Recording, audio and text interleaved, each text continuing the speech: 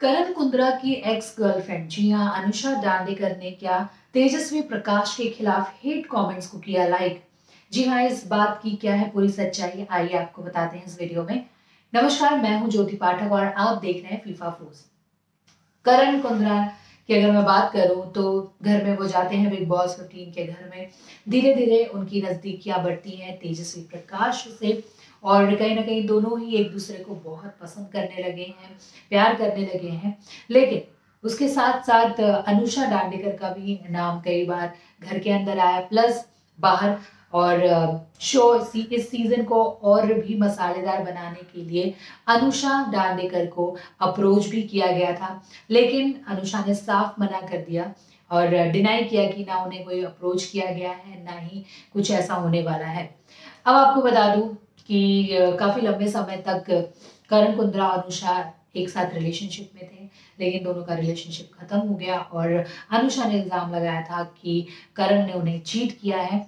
और ये सारी चीज़ें तो कब की ख़त्म हो गई थी, लेकिन अब मैं आपको बताना चाहूँगी कि सीज़न के चलते जब नाम आया अनुषा का तो अब कहीं ना कहीं फैंस की अगर मैं बात करूँ तो कुछ ऐसे स्क्रीनशॉट्स फैंस शेयर कर रहे हैं, जिसमें ये बता रहे हैं कि अनुषा दांडेकर ने तेजस्वी के खिलाफ जो नेगेटिव कमेंट्स हैं, जितने भी हेट कमेंट्स हैं, वो लाइक किया है उन्होंने, जिस पर कमेंट रिप्लाई भी किया है और लाइक भी किया है। तो मैं आपको बताना चाहूँगी कि जितने भी स्क्रीनशॉट्स शेयर किए जा रहे हैं, उसे एडिट करके, कुछ फैंस ऐसे भी हैं जिन्होंने एडिट करके इसको सामने रखा है।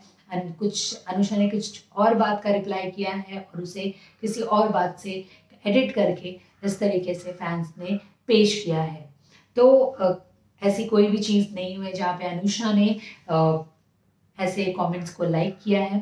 बल्कि जब ये सारे स्क्रीनशॉट बाहर आए, तब कुछ तेजस्वी के फैंस ने जो अनुषा है, उनको कई सारी बातें कही कि। आप ऐसी हैं, आपने हेट कमेंट्स लाइक किया है और सारी चीज़ें। लेकिन ऐसा कुछ भी नहीं है। अनुषा ने ऐसी कोई भी चीज़ें लाइक नहीं की है। फ़िलहाल तो यही सच्चाई है। सारे जो स्क्रीनशॉट घूम रहे वो एडिटेड है।